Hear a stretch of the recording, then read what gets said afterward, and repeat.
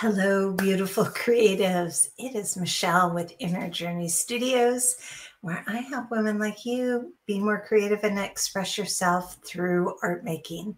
So, you may have already seen me on just a few minutes earlier. I had some technical difficulties, as sometimes happens. And if I'm being honest, it was user error. So, I am always learning and exploring and figuring out the tech. So I'm back. Um, so sorry about that if you were watching and I cut it off or you noticed there was no sound. Um, hopefully there is sound and volume and you can hear me now. So I am coming to you live because I am super excited to share with you about the Artsy Book Club.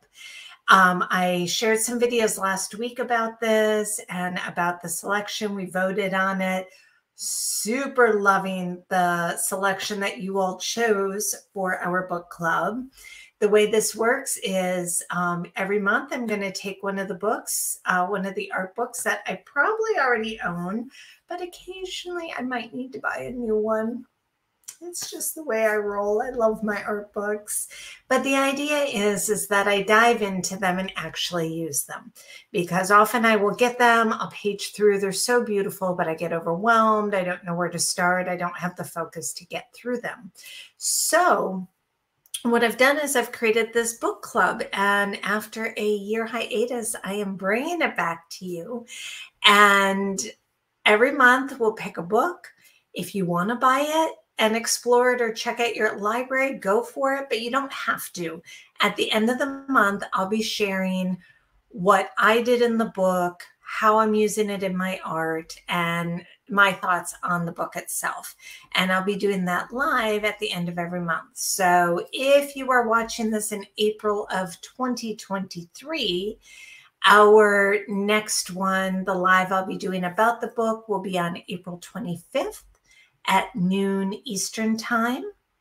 But if you are watching it any time after April 25th of 2023, um, just check on my page, Inner Journey Studios, for whenever our newest book club. We'll be doing it at the end of every month. So, without further ado, today I wanted to share with you the actual artsy um, book club guide that I've made. Um, I made this specific for myself initially to help me keep track because what happens is I open an art book, I take a look, and then I get completely overwhelmed and it goes back on my shelf. And I'm like, oh my gosh, I can't do it. There's, it's, they're beautiful. There's so much inside, and my brain just works so fast that it can't focus on anything. And then I do nothing. So I was like, I got to figure something out. And for me, it was making this artsy book club guide that I could fill out to help to keep my brain narrowed and focused so I could get through something. Now, I don't do the whole book in a month, not even a little bit. I just go to what looks most interesting. So I'm going to go ahead and bring this up there we go. Let me see if I can get that bigger for you. Um, hold on, let me see. Can you let me know in the comments if you can still hear me? I believe you can, but I would love to know if somebody can let me know um, that you can still hear my voice. Just comment and say, I can hear you, or yes or something just so I know. I think, I think you can still hear me. That's what happened last time is I did something and nobody could hear me. So let's see. I think I am still there. I guess we'll find out. So if you can hear me, let me know in the comments. If I don't hear from anybody, it looks like I am my volume is still on. I am not seeing anything indicating it is not. So I'm going to assume I'm okay and let's keep going. All right. So this is the Artsy Book Club Guide and you can download this for free. If you don't have it already, just comment Artsy Guide in the comments and I will make sure you get a link for it. You can see I actually um, do a bunch of them at once. So I, I just go ahead and print them and then I've got them ready to go. And I keep mine in a three ring binder when I'm done. I just pop them in there so I can always go back and use them as reference. So the book we're doing in April of 2023 is Painting the Sacred Within by Faith Evans Sills and Mati Rose McDonough. Um, it's a beautiful book. I am loving going through it so far. You can see it's absolutely gorgeous. I know I'm going fast. I'm not doing a, a page by page. I'm just giving you a quick, uh, really quick, like, boom, look at all the pretty colors and stuff. So what I like to start with is I put the title and the author just for later on so that I know what I'm looking at um, when I'm looking through this and I know where to find things. The next thing that I do is I go through the index of the book. Like I will turn to the index and I read what each chapter is about to get a feel for it. And usually I just go there. This particular book, I did go into each chapter and kind of page through to figure out which one I wanted.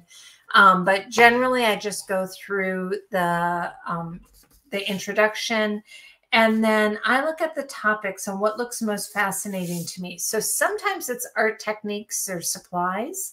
For this one, it was actually the uh, general themes of the topic matter, the subject matter that was interesting. So I really, I love the way they do their flowers. You can see in here. I just, I've always loved the way that they have theirs. So I want to explore that a little bit more. I'm really loving the idea of being more intentional with the focal point. So I want to check that out. The mandala section looks so interesting and soul animals. Now, the entire book looks amazing. Like, I'm not going to lie, like, everything looks good. But these are the ones that jumped out the most. And this, like I said, is what I do to um, keep me on target and on focus because otherwise I get like, oh, and I can't find anything. It gets a little crazy. Um, so then what I do is what's one chapter, technique, or project I really want to do from this book. So for me, it was the chapter, it's called Creation as Meditation and Painting Mandalas. That's the chapter name. So that's the one that I'm really wanting to focus on. Um, let me know if you're just joining me. Please say hi. Feel free to in the comments. Um, let me know you're there. I always love to hear from y'all. Hopefully, you can hear me. Um, I am fingers crossed that y'all can hear me. Um, so that is where I start. Now, the next thing that I do is I read the introduction and sometimes I take notes. So this time I was reading the introduction and I did, I wrote down some quotes. I wrote down some ideas that I liked for myself. And I just make little notes about that. If I need more space, I'll just use another piece of paper and just attach it to it. And then as I'm working through this this month, I will fill in the rest. So are there any pages and chapters I really want to remember? Um, how, what kind of ideas do I have for using this in my own art?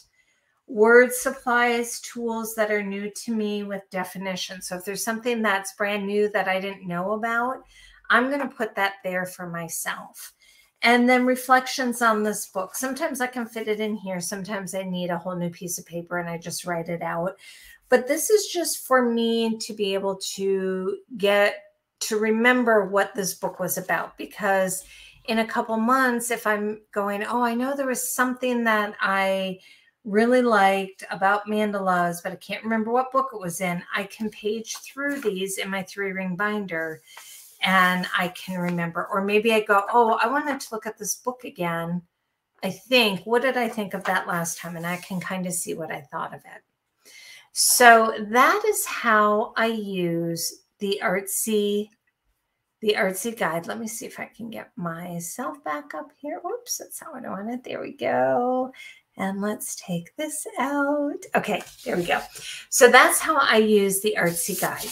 I just fill it in as I go, but I start with um, writing down the title, the author, and really what one chapter project am I most interested in. It's not to say I won't explore other stuff throughout the month. It's not to say I won't do more. But what's the one thing, if I do nothing else, that I really want to focus on? For me, this helps to quiet my mind and it helps me not to feel overwhelmed as I go into this book. My goal is not to get through the whole book from beginning to end. That's not how my brain works. It's not how I operate.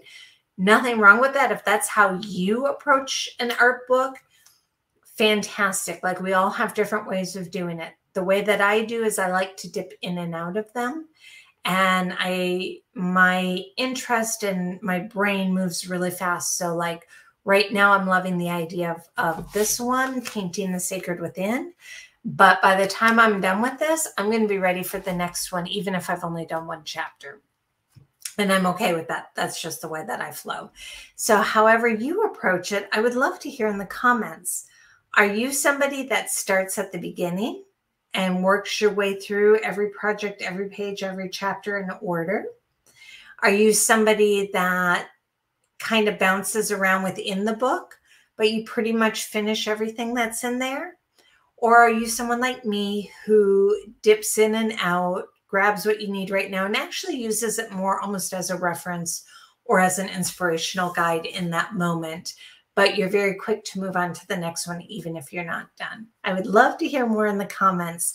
And if you don't have your artsy book club guide yet, whoops, here, there we go. Sorry. If you don't have this yet, go ahead and write artsy guide in the comments and I will make sure you get that. All right. I look forward to seeing you again to come live same time, not same time, same place though. Um, I'll be coming live to share with you the art that I created inspired by this particular book um, and sharing my thoughts on it, you know, basically my reflections on it. If you do get this, let me know. I'd love to know who else is playing along with me. And remember to use hashtag artsy book club if you're posting anything online because I definitely want to see what you have going on. All right. Thank you so much for being here. Love you. Bye bye.